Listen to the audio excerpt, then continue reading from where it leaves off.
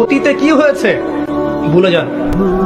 Music করতেন girlfriend ছিল porn দেখেছেন, জুয়া খেলেছেন, মাদকের সাথে সম্পৃক্ত ছিলেন, হারাম অ্যাফেয়ার্সে ছিলেন। কি করেছেন অতীতে? আজকে থেকে ভুলে যান।